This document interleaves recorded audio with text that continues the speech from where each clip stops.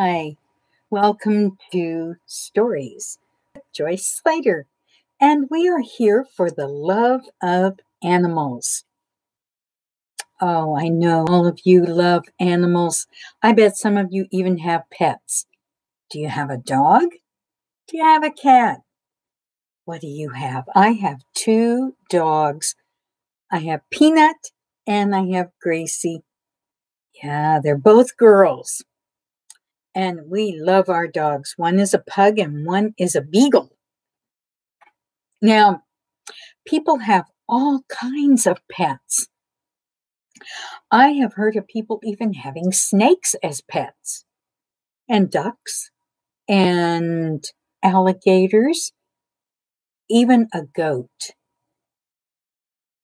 So today we are going to tell some stories about all different kinds of pets. Now, my first story, there is a pet in it, but it starts out with a little mouse named Mabella. Mabella was a clever, clever little mouse. She was so clever, but her father taught her a lot.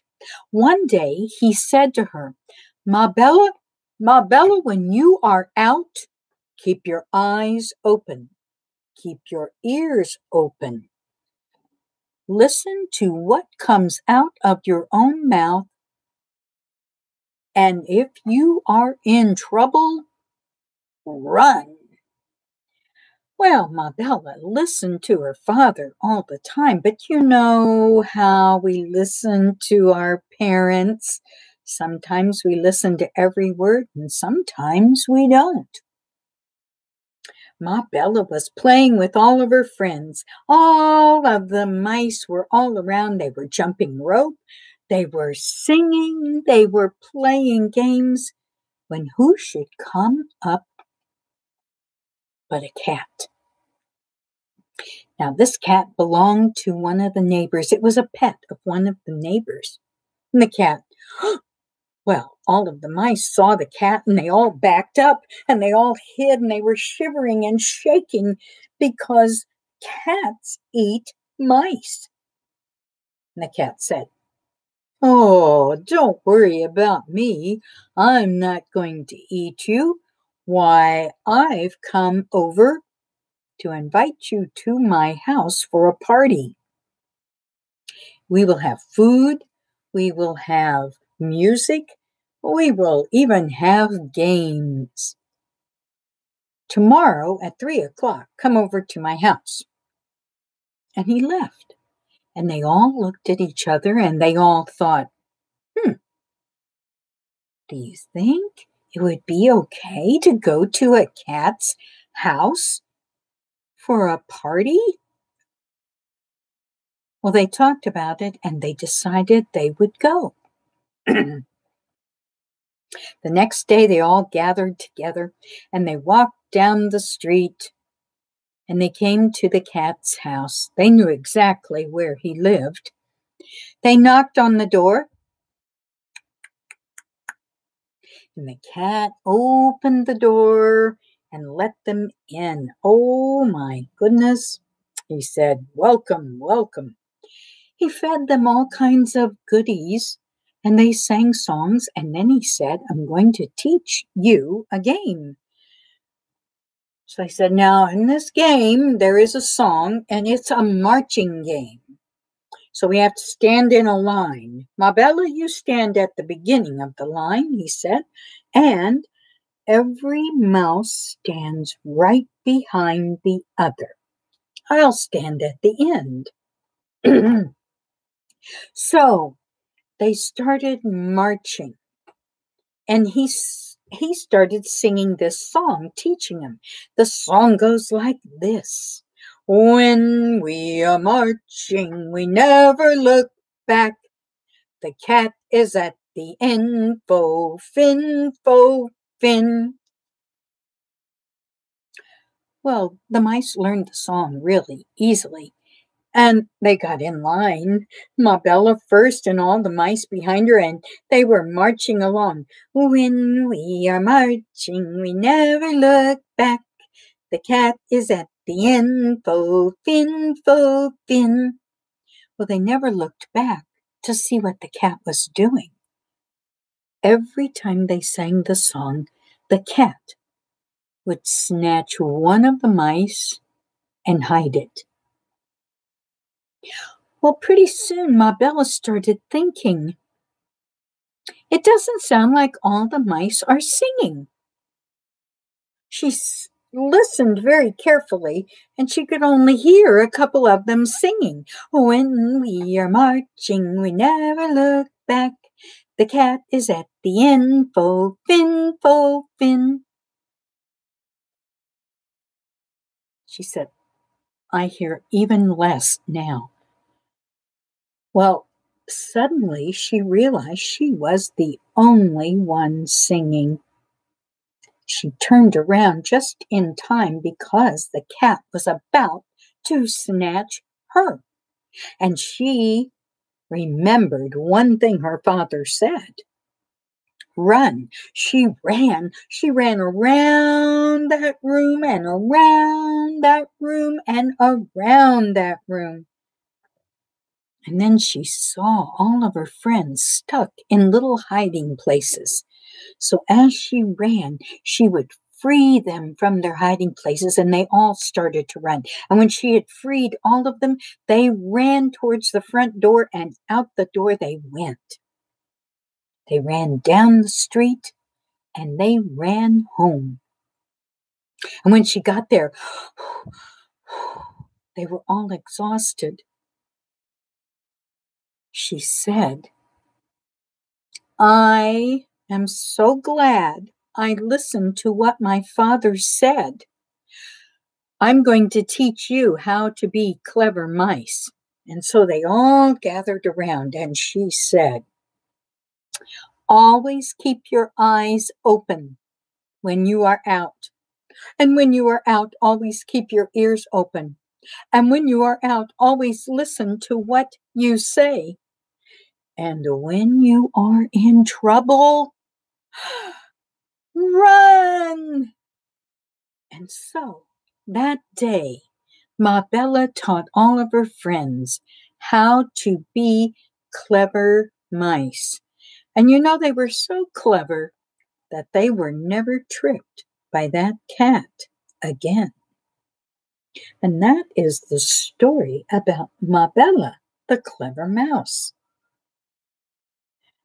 You know, we can all be very clever and remember those same things when we're out.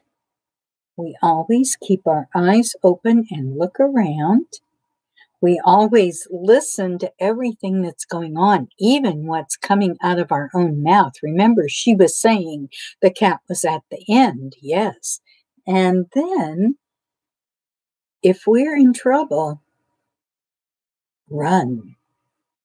All right. You were very good listeners. Thank you for listening to that story. now, I'd like to tell you a story about a little old couple who had three pets. Can you count them? One, two, three. Once upon a time, there was a little old man and a little old woman. They lived in a little old house. They had three pets. They had a duck, they had a goat, and they had a pig three pets. Now, their house was so little that they couldn't fit their pets in their house. So they built a little house for the duck and a medium house for the goat and a big house for the pig. One day, the little old man was in the woods. He was chopping down wood. He had an idea. Boing. He ran home and he said to his wife, I have a great idea. Let's live in the woods. He said, she said, I don't know. We don't have a house in the woods. He said, I will build us a house in the woods. So they gathered up all of their things and they had a great big cart and they put all of their furniture in the cart And they put their three pets in the cart. What are they? The duck, the goat, and the pig. And they pulled the cart into the woods. Now, the the old man, he said, First we will build a house for the duck. It'll be the easiest. So they gathered sticks and they gathered branches and they built a little house for the duck. And when it was finished, the duck took, took a look at it and said, I like it. And he went inside and he shut the door. They gathered even more sticks and branches for the goat's house. Probably three times as many sticks and branches than they had for the duck's house. And they built the house, and when it was done, the goat said, I like it. And he went inside and he shut the door. Now, the pig's house had to be a lot bigger and a lot stronger. So they got many, many, many more branches and sticks, maybe five times as many. They gathered them up and they built the house, and the pig looked at it and he said, I like it. And what did he do? You know, he went inside and he shut the door. That's right. Now, they had to build their own house. So they gathered, oh my goodness, 12 times as many sticks and branches, and they built a nice little house for themselves. They were so tired, they went to bed and they went to sleep. And the duck went to sleep, and the goat went to sleep, and the pig went to sleep. now, in the morning,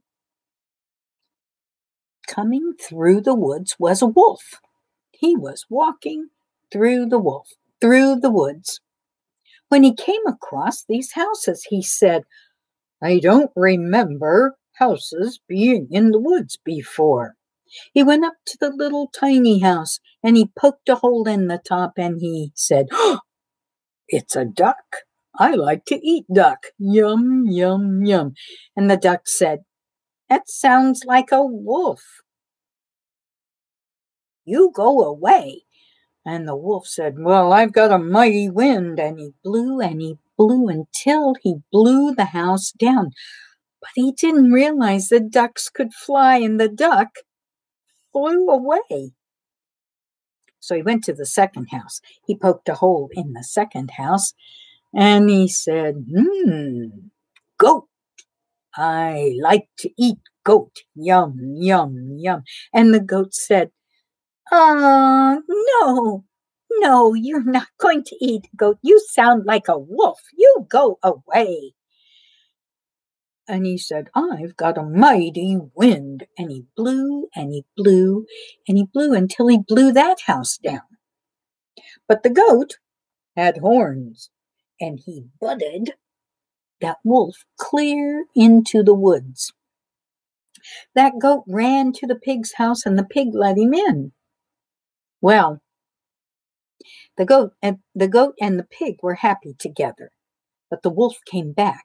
He tried to poke a hole in the pig's house, but it was too strong. He said, Who lives in there? And the pig said, Oh, I do. I'm a pig. He said, Yum, yum. I like to eat pig. He said, Well, you're not going to eat me. My house is too strong. Well, he said, I have a mighty wind. I could blow your house down. And he blew and blew and blew, but he couldn't blow the house down. He said to the pig, Do you like potatoes? The pig said, Oh, yeah. Well, he was trying to trick the pig. He said, I know where there is a field where potatoes are planted, and I'll show you. It's just over the hill. You meet me there tomorrow morning at 6:30 and we will we will dig up some potatoes together and eat potatoes. Oh, the pig thought, yum, yum, yum, yum, yum. I love potatoes. But he knew that a wolf would trick him, so the next morning he got up at 5:30 and he went to the field himself and he dug and dug and dug until he had some potatoes that he ate and he took some home. Well, the wolf didn't find the pig at the at the garden, and so he went back to the pig's house and he said, "Pig, you didn't show up." He said, "Oh, yes, I did. I I ate my potatoes already." Oh dear, said the, wolf. Hmm. Do you like apples? Oh, I love apples, said the pig. I know where there's a good apple tree. It's down in the valley, just a ways from here.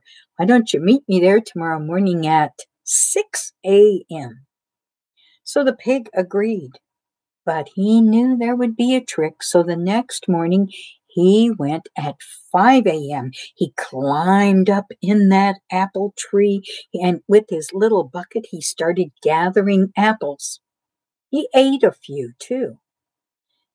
Well, the wolf showed up at 5:30 before the pig could get back home. And he said, Ha ha, so you went up in the tree before I got here. The pig said, Yes. Do you want an apple? And the wolf said, Yes, I do. So he threw an apple down.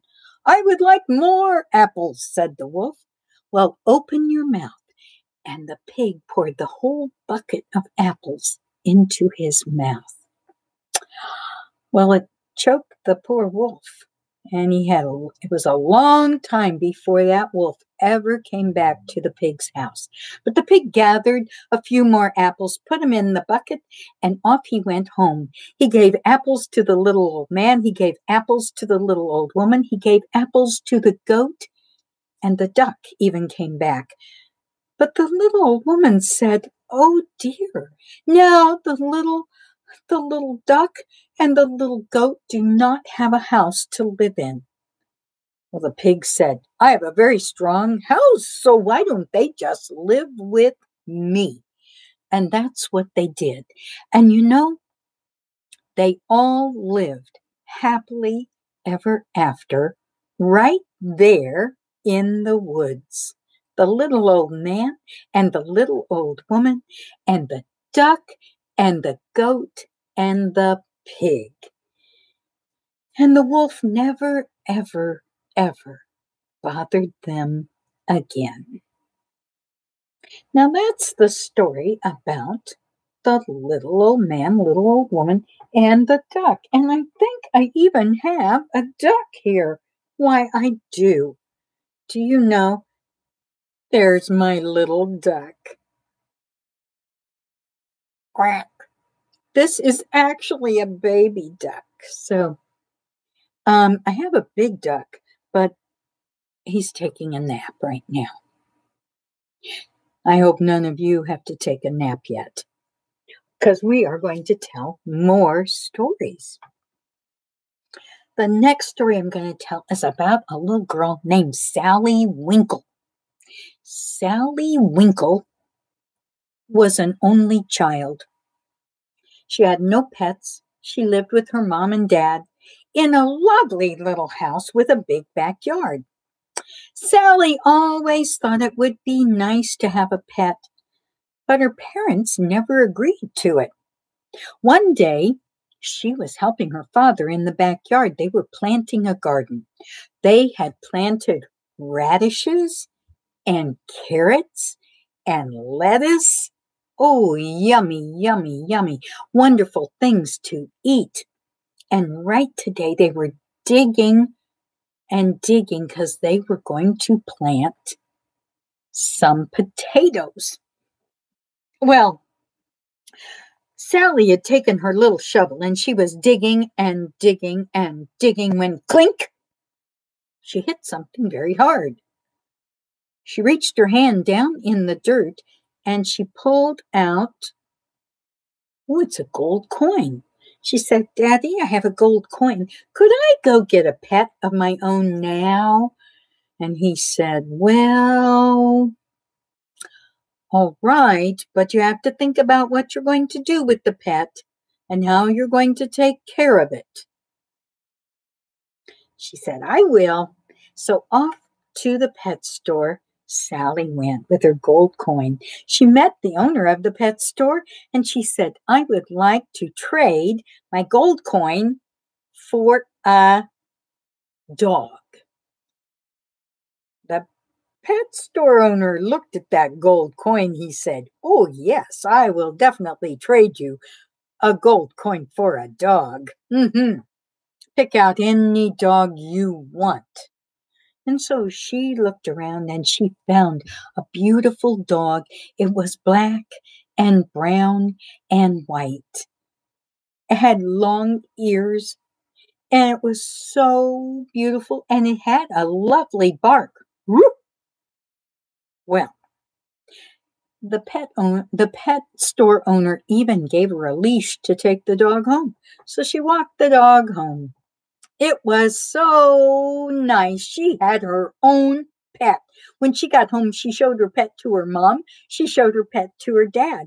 Her dad said, What will you do with a dog? She said, Well, I'll walk him.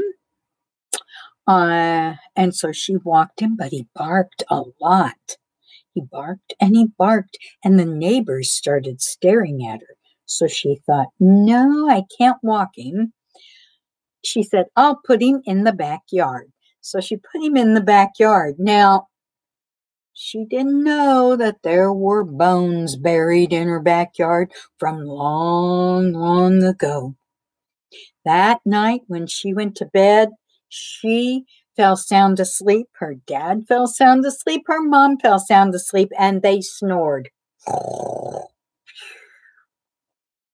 The next morning, she went out in the backyard. There were holes all over the yard, even where they had planted their potatoes, even where they had radishes, even where they had carrots, and even where they had lettuce.